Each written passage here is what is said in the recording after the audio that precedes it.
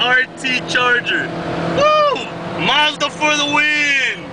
Woohoo! Oh, oh, we, we getting them. We getting them. Oh, no, bullshit.